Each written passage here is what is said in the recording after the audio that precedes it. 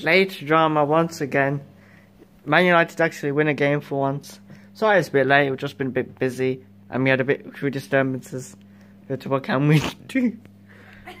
anyway, Juventus won and Man United 2. Surprising result, yes.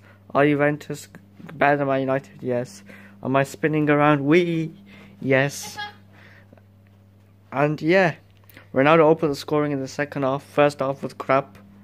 I could I could have gone to sleep and missed it, I think. But first half was crap. I said that already.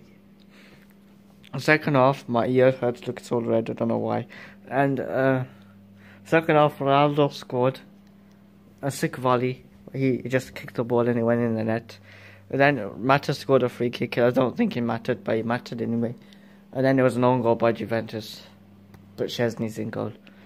So if you like this review, like, subscribe, peace.